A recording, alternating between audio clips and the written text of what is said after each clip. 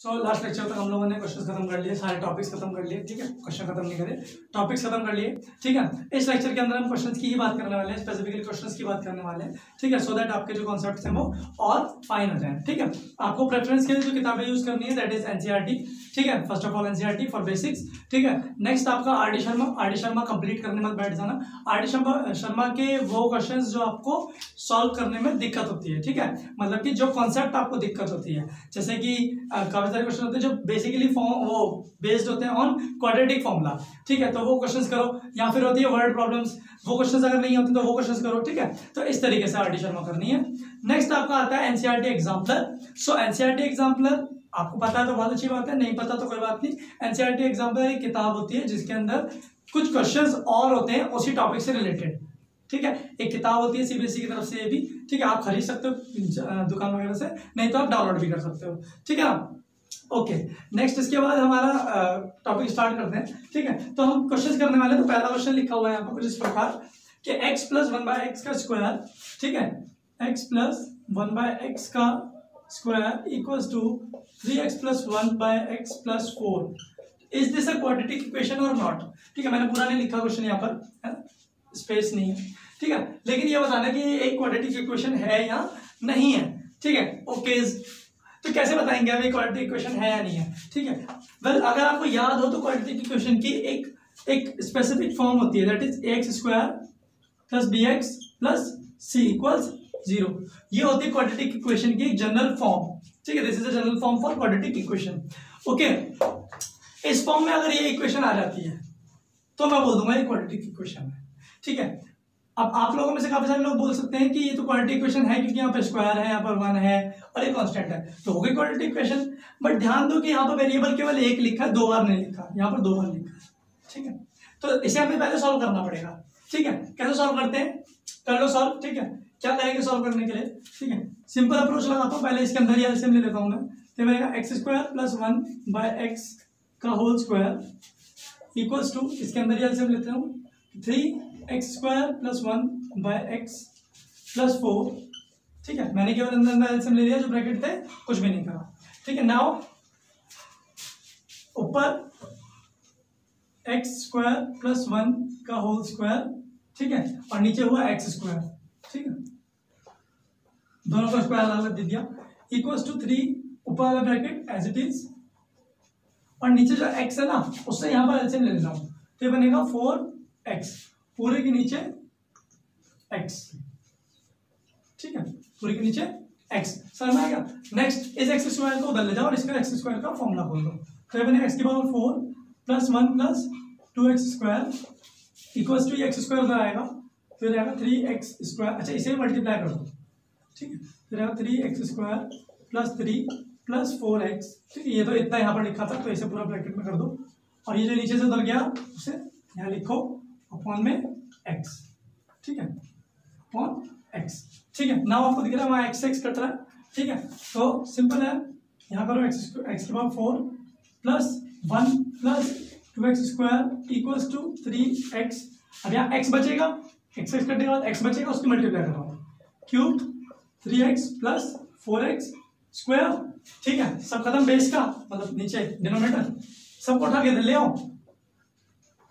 X four plus one plus two x square minus three x cube minus three x minus four x square equals zero तो हमें पता चल रहा है कि ये क्वालिटी इक्वेशन नहीं है, क्योंकि यहाँ पर फोर पावर हाइएस्ट आ रही है फिर भी हम इसे सॉल्व कर लेते हैं एक बार, ताकि हम जनरली लिख के दिखा पाए।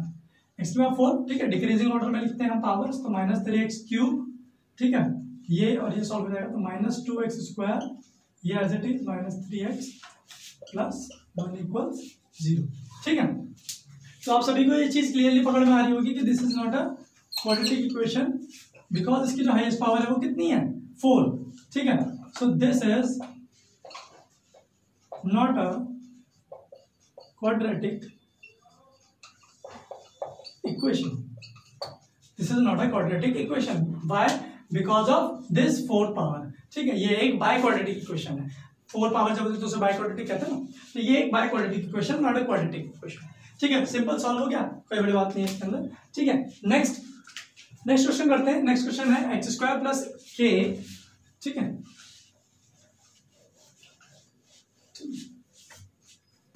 X square plus k four x plus k minus one plus two equals to zero ठीक है? ये इक्वेशन दी हुई है। बोला हैज़ इक्वल रूट्स इस इक्वेशन के इक्वल रूट्स हैं। ठीक है? फाइंड द वैल्यू ऑफ़ के ठीक है? तो इस इक्वेशन के अगर इक्वल रूट्स हैं तो अगर आपको बात याद आ रही हो तो मैंने जब क्वाड्रेटिक फॉर्मूला करवाया था तो मैंने तीन स्पेशल केसेस बताए थे, जिसके अंदर हमारा discriminant equals to zero discriminant less than zero और डिस्क्रिमिनेंट ग्रेटर देन ज़ीरो तो जब इक्वल रूट्स होते हैं तो हमारा डिस्क्रिमिनेंट इक्वल टू ज़ीरो होता है। ऐसे आपको क्लिक करना चाहिए। तो इस पहले तो इस इक्वेशन को पहले तो सॉल्व करिए जनरल इक्वेशन लिखो। ठीक है तो जनरल इक्वेशन बना लो इसे। तो बनेगा four k x plus k square minus k plus two equal to zero अब यहाँ पर देखो, थोड़ा सा मार्क कर लो। यहाँ पर कुछ भी नहीं तो मतलब वन है। यहाँ पर ये है बी और ये पूरा है सी वन है यहाँ पर ए ठीक है तो ये हुआ ए ये हुआ बी और ये पूरा हुआ सी कांस्टेंट कांस्टेंट निकाल लो। ठीक है? अच्छा। तो आगे करते हैं सॉल्व इसे।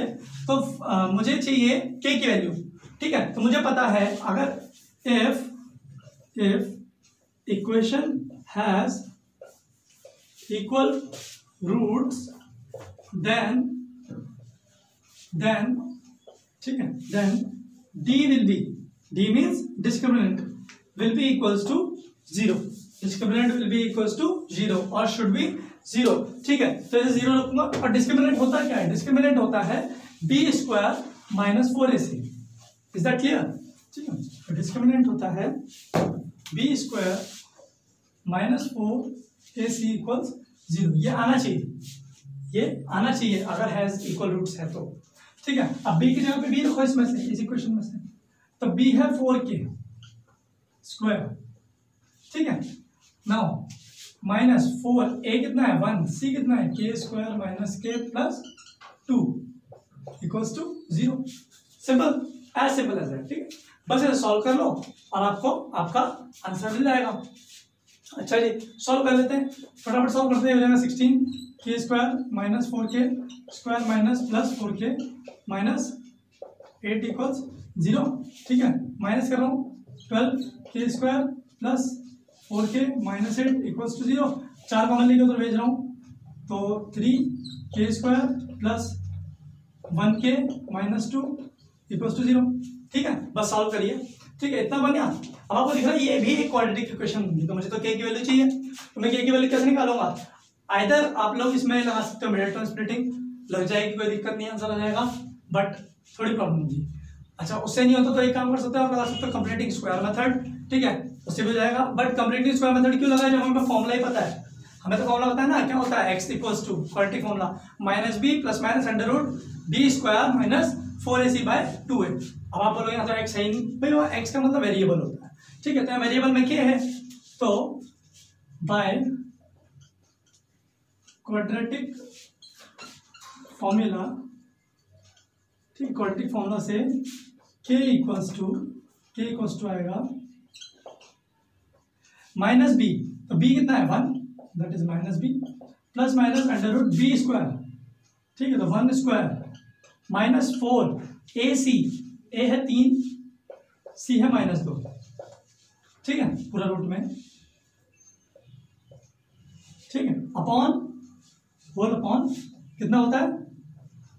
टू ए सिंपल अब इसके बाद सॉल्व कर लो और आपका बाद आपके पास आपका आंसर आ जाएगा। ठीक है, कोई इसमें बड़ी बात नहीं है।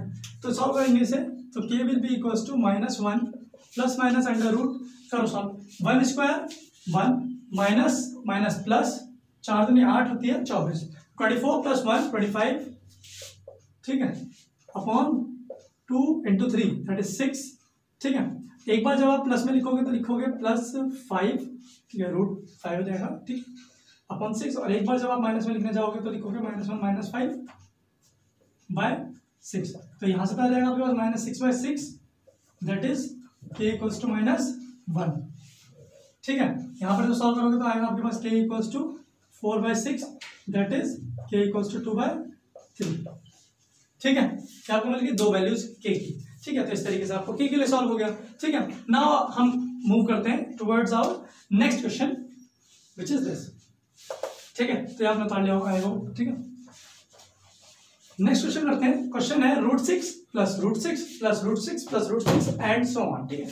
अब रूट के अंदर रूट है, उसके अंदर रूट है, उसके अंदर रूट है, उसके अंदर रूट है रूट के अंदर ही रूट चलते जा रहे हैं। टिल पता नहीं कहाँ तक, ठीक है? बहुत बार चलेंगे। हमें नहीं पता कितनी बार चलेंगे इन्फिनिटी बार चलेंगे। ठीक है? तो इनका सम कितना होगा? ठीक है? मोस्ट ऑफ़ द स्टूडेंट्स क्या करते हैं? अगर उन्हें इन्फिनिटी के बारे में थोड़ा सा जानकारी तो क्या करते हैं? इसका आंसर इन्फिनिटी कर देते हैं। बट दिस इज़ रॉन्ग है ना? कंप्लीटली रॉन्ग ठीक है? क्योंकि इसका आंसर इन्फिनिटी तो नहीं आने वाला। अच्छा फिर इसका आंसर क्या आएगा? इसका आंसर कुछ और आने वाला है। अच्छा क्या आएगा? तो ये जो नंबर है ना, ये छोटे होते जा रहे हैं, ठीक है? अगर आप देख रहे हो तो छोटे होते जा रहे हैं। आपको नहीं समझ आ रहा छोटे होते जा रहे हैं, छोड़ दो, कोई दिक्कत नहीं, हमें इसका आंसर निकालना फ़िलहाल तो इस चीज़ को सॉल्व करके कितना आंसर आएगा? अब दिमाग में ये चीज़ आती है कि क्वालिटी इक्वेशन से कैसे रिलेटेड है।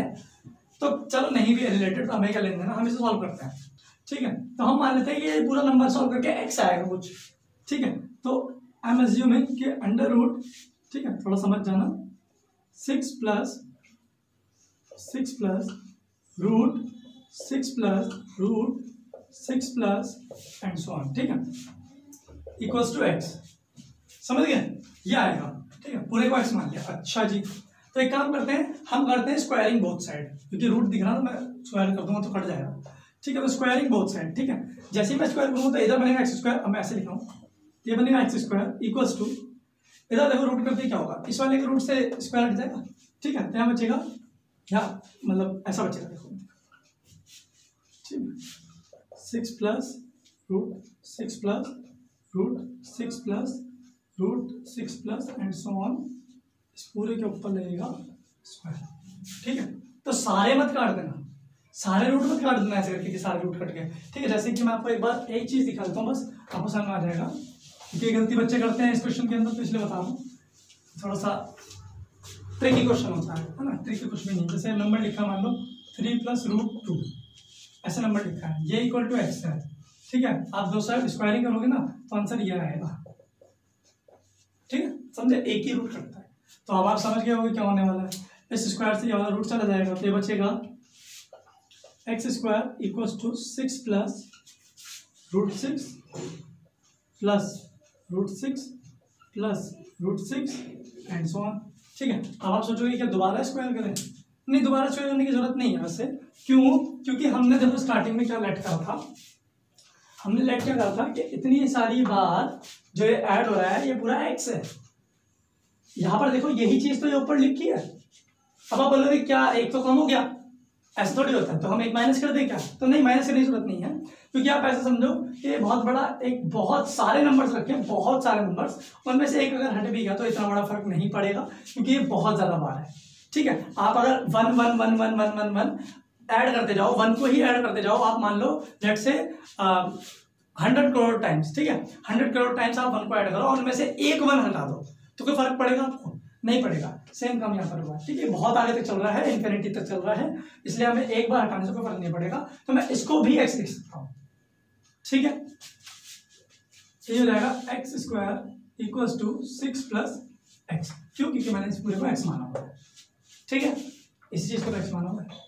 अच्छा ये बन गया। अब आपको दिख रही क्वालिटी क्वेश्चन ठीक है? तो हमने इस क्वेश्चन को क्वालिटी क्वेश्चन में बदल दिया। अब सॉल्व कर लो। X square minus x minus six equals to zero simple simple solve कर लो. किससे करोगे? क्वाड्रेटिक फॉर्मूला से. तो बाय क्वाड्रेटिक फॉर्मूला ठीक है? हमारे पास फॉर्मूला क्या होता है? X equals to minus b plus minus under root b square minus four a c upon two a ठीक है? फॉर्मूले में पुट कर दो वैल्यूज़ ठीक है? X equals to minus b तो माइनस बी कितना माइनस वन ठीक है? माइनस यहाँ पर ठीक है? Minus plus under root b ठीक है? तो बी क्या है यहाँ पर? Minus one minus one square ठीक है? माइनस फोर ए सी ए कितना है? ए है मेरे पास वन ठीक है? उसके बाद सी कितना है? सी है मेरे पास माइनस सिक्स ठीक है? तो आपको पूरी तरीके से ध्यान रखना है कि सारे आपको आ, वो जितने भी कॉन्स्टेंट्स होते हैं उनकी वैल्यू ठीक है। ठीक है ना? और उसके बाद यहाँ पर आता है आपका ए ठीक है? ए कितना है यहाँ पर?